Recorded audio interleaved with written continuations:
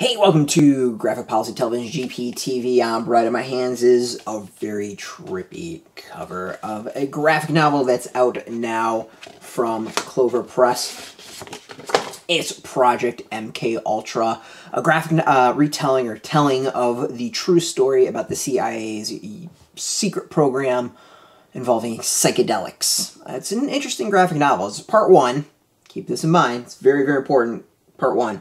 So it's by Stewart Kenneth Moore, Brandon Beckner, and Scott Sampila. It's Project MK Ultra, sex, drugs, and the CIA. So MK Ultra is one of those things that was a conspiracy uh, that wound up being true. Uh, the CIA dove into psychedelics and particularly LSD and had a whole program involving around them where they uh, gave a lot of doses to people either unwillingly or unwittingly and just yeah it's it was all sorts of messed up it's generally kind of come out that this is a true uh, event and true project. We I don't think anyone knows the complete sense of exactly everything that went on because a lot of the documents were destroyed.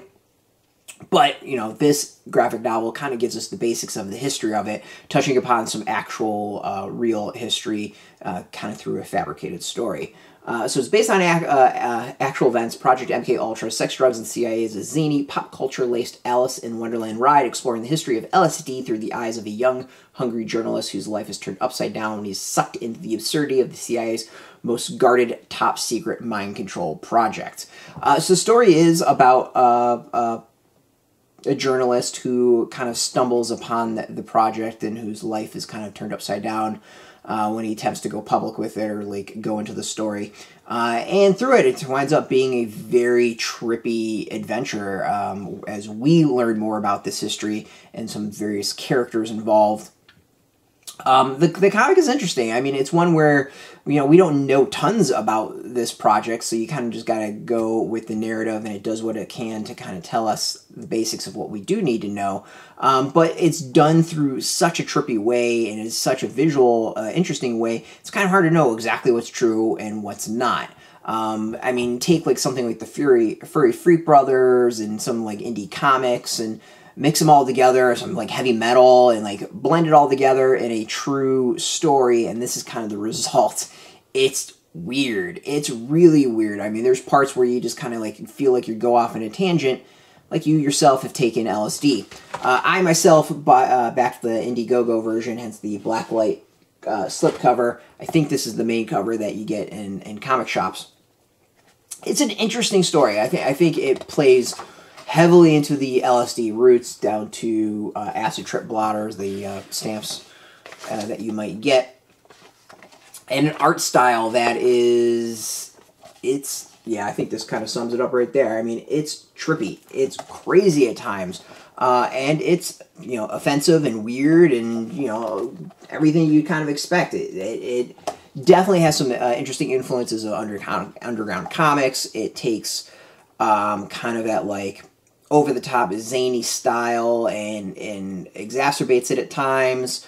Um, you know, it's it's interesting. It's really really interesting. I mean, this is not a comic that is um, just like a straight historical story uh, telling of the history of Project Ultra, uh, MK Ultra, and LSD as a whole. I mean, it goes off on weird tangents at times. It takes you through um, trips just kind of show off some of the various LSD trips.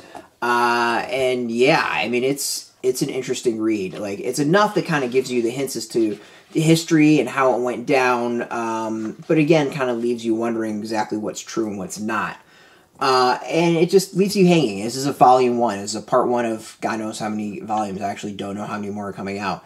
So it's interesting. Like if you're interested in the history, if you want to learn a little bit more and don't know where to start, like this feels like a decent place to start. It throws out a lot of names to do some research and get you to go and uh, be a journalist yourself to learn more about this very interesting uh, history of the CIA and United States government.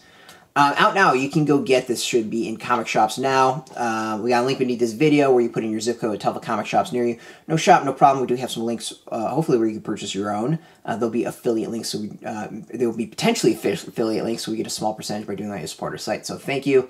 Uh, and I just want to thank you for watching our video. I always appreciate that. If you're into graphic novels, if you're into comics in general, check us out every single day at graphicpolicy.com. We're on Twitter, Facebook, YouTube, Tumblr, all at Graphic Policy, keeping it nice and consistent. Until next time, keep reading those comics and keep it geeky.